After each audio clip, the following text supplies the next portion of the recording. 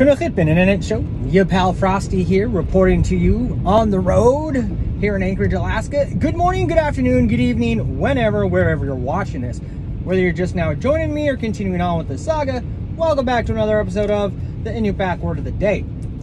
Today's Inupiaq Word of the Day is Taquaq. To quack. Taquaq. To quack is a snack that you would bring along on a trail, um, like you know, trail mix, uh, things that you would bring, you know, food for hunting,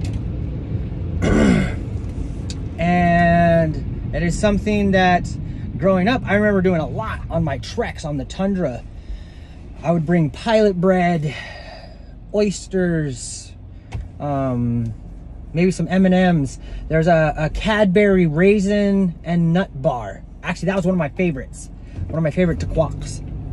Anyways, if you like the content, please like, comment, subscribe. If you yourself want to learn more about the Inupiaq language, specifically the Kawerakmiut dialect or the North Slope dialect, check out the links in the description box down below. Please like, comment, subscribe. As per usual, friends, stay hydrated, eat a protein, smudge, everything will be out.